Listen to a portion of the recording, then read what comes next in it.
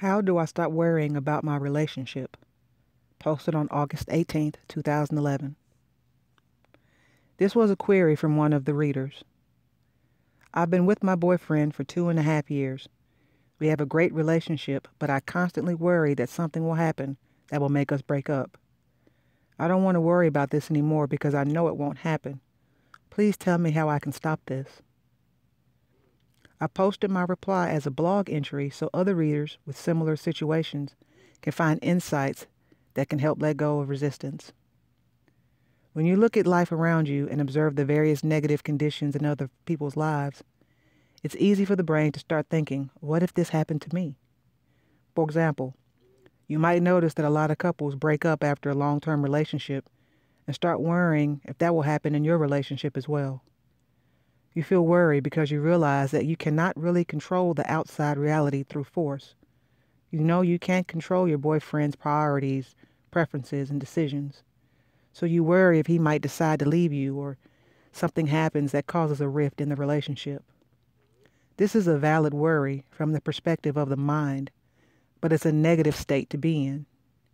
Negativity does not serve any purpose but to resist the flow of well being into your life. Let go of focusing on negative thoughts. If you stay aligned with thoughts that bring you joy and stay detached from negative thoughts by not feeding attention to them, it won't be long before the momentum of negative thinking in you starts ebbing away, allowing you to start becoming free of resistance within. For example, when you get a thought in your brain which says, What if my boyfriend or girlfriend breaks up with me and this joy that I'm feeling comes to an end? Just realize that it's only a thought in the brain and it's your choice to give attention to it. If you give attention to this thought, it will become stronger in force. It will repeat more often in your brain, and it will give you an illusion that your brain is obsessed with it. But in truth, it's not the brain that's obsessed with it. The brain is just a machine that interprets reality. But it's your attention to this thought that creates fuel for its repetition. So, what's the solution? The solution is to disidentify with negative thinking. That's all. It just takes some practice and discipline initially to not feed negative thoughts with attention.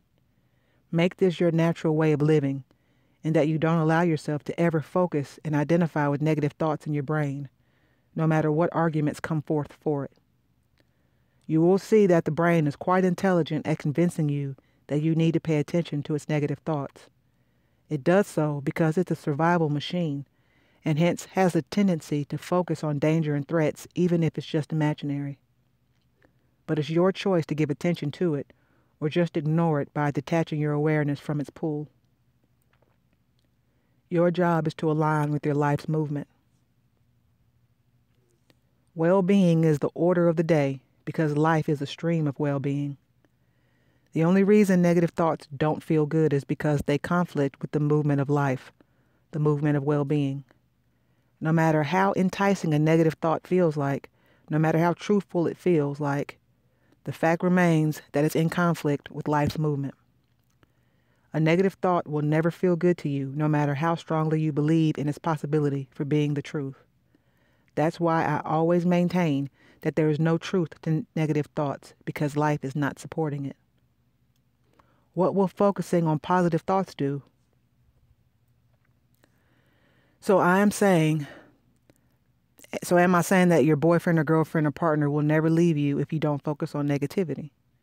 Well, if your boyfriend or girlfriend is a match to your joy, and if there remains a compatibility between the two of you as you keep growing through life, he or she will stay in your reality.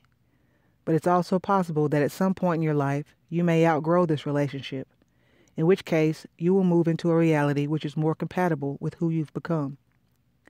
The point is that life will constantly keep you in a place of joy and a place of well being by shifting your reality to match your joy.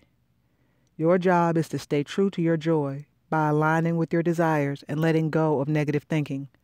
Allow life to then orchestrate the reality for you in a way that keeps reflecting this joy back to you.